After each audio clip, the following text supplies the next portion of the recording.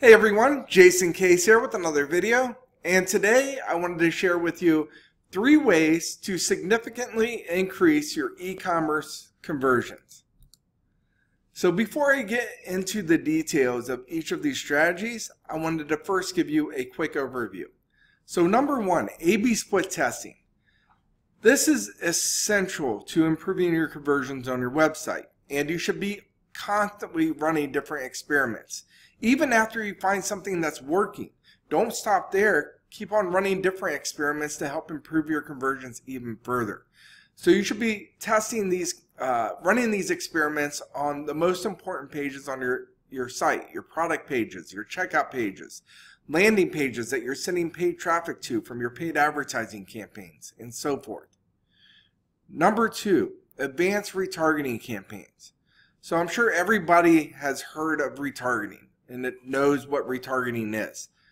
Um, if you're not, this is where you search something on the internet. Let's say you search for a pair of shoes and you view that pair of shoes, but you don't make a purchase. Well, now that pair of shoes follows you all around the internet. Now that pair of shoes is showing up on blogs you're reading or maybe on your Facebook newsfeed. So this is retargeting and it will definitely help increase your conversions. But you can take this a step further with some advanced retargeting campaigns. And I'll go over the details of that in just a bit. Number three, marketing automation. So marketing automation is essential to stay in touch with your prospects and current customers. It will help you automate many other tasks as well. And I'll go through those details just in a bit too. So number one, A-B split testing. So I would split test high traffic product pages. And the reason I say testing on high traffic product pages because you want to test on the high traffic pages of your site. Otherwise, it's going to take way too long to get enough data be, to make your decision. So testing on these high traffic pages will help you get enough data on your experiment much quicker. And then you can implement these changes and increase your conversions much faster. So test different messaging, different titles, different images with these products. You know, um, A-B split testing different copy on your advertising campaigns is essential to improving your click-through rate. Well, same thing with these product pages. Just making small tweaks to the way your messaging and your titles or your images are will help uh, increase your conversions as well. Try using product videos that highlight special features of the product. So this could uh, help increase your conversions. Give a 360 view of the product.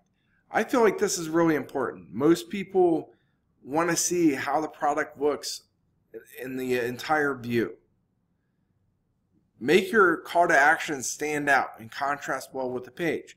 So run different experiments with this. Change the button colors, change the button sizes, change how your call to action is worded. Run different experiments on this and see if this works. Now it's important to only experiment one thing at a time or you won't understand what's really working. Make your search bar more prominent. So if you think about Amazon, think how big their search bar is on their, their website and how it stands out really well. Well, this is because people or Amazon wants people to search and find their product really quickly. So if your search bar is kind of nested away and it doesn't really stand out, try to run an experiment by making this bigger. Split test your checkout process. This is a very important part. If you don't make it easy, then you're going to lose people here.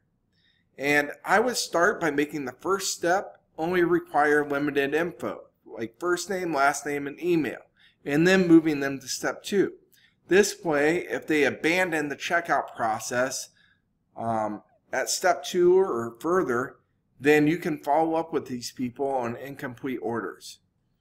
Use visual process indicators to show their checkout progress. So if there's four steps in the checkout process progress, then make these four steps visual and show their progress through them. Number two, advanced retargeting campaigns. So again, setting up advanced strategies is super important and will definitely give your conversions even an extra boost instead of just running a generic retargeting campaign that retargets everybody that visits your website. So to do this, start segmenting your audience based on their interest and purchase behaviors.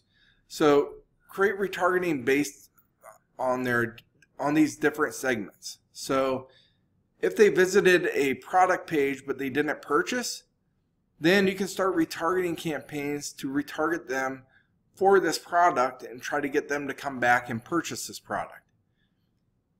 If they purchase a product, then retarget them with ads of other related products to that, that product that they purchased. If they purchase a product that is bought multiple times, for example, if they, they purchase a pair of shoes, well, maybe those shoes only last six months or 12 months.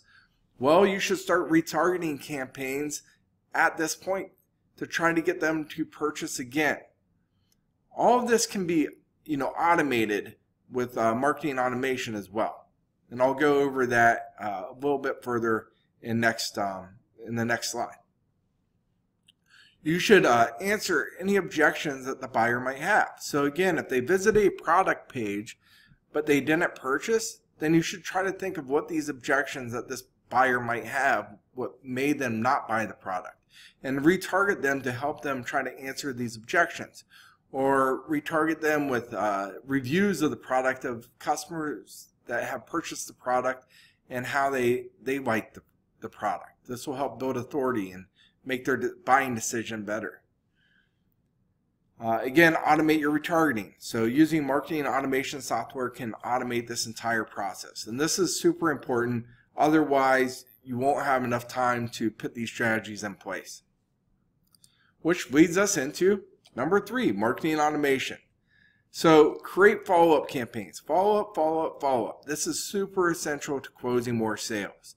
If you don't have any automated follow-up nurture campaigns in place, then you're shooting yourself in the foot with every other marketing strategy that you're doing. I guarantee you're wasting money and leaving money on the table. You need to follow up with people. Um, most people don't actually follow up with uh, prospect more than three times, and it usually takes eight times or more, um, eight touches or more to get someone to convert. So always have a call to action in every email. These emails should be educational and help build trust. They're not meant to be sales emails. So yes, you can have a direct offer, you know, maybe 20% of the time or 10% of the time but most of the emails should be educational. This helps build trust with your company. But even though they're educational, that doesn't mean that you can't have a call to action in there. Just make sure you have a call to action in every single email. Create short-term and long-term lead nurture campaigns. So short-term nurture campaigns are meant to be more frequent, you know, every few days, because this is when somebody's showing interest and you want to try to catch them when they're most interested and try to get them to convert and, and purchase from you. If they don't purchase, then you can send them into a long-term nurture campaign that touches base with them maybe every couple weeks or every month. And make sure you segment out your email list based on their interests. So just like retargeting campaigns, you should be segmenting your audience. Well, you want to do the same thing with your email campaigns. This way you can email them based on what products they're interested in automate your post-purchase task. So this is super important too. This can help you save a ton of time. So most of these tasks are super routine. So every time a product is purchased, there's certain things that you have to do. Well, you can put automation campaigns in place to automate the fulfillment of the order. Create feedback and referral campaigns. this is super important too. So a lot of businesses will say and tell you that a lot of their business comes from referrals. But if you ask them what type of referral campaigns they're using, they say, we don't have referral campaigns. We just get referrals. Well, putting some automated referral campaigns in place will definitely increase the amount of referrals you get because this goes out with every single order and you get feedback and, and reviews of your products and your service. This will help increase your conversions too because a lot of people want to see reviews before they make their buying decision. And then retargeting automation. so with retargeting automation, you can automatically add and remove people from different retargeting audiences. So if you're retargeting a person because they didn't purchase a product, well, we automatically add them there and are start running these retargeting campaigns. But let's say they purchase this product two weeks down the road. Well, now guess what?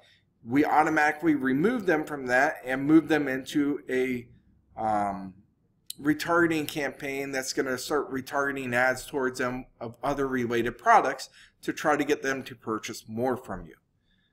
So, and you can automatically start and stop these campaigns. So that's it, everyone. If you need help with any of these digital marketing strategies, feel free to reach out. I would be happy to help. This is what we help businesses do. That way you can stay focused on running your business and what you do best, and we can do what we do best, and that's help grow your business. Take care, and we'll talk tomorrow.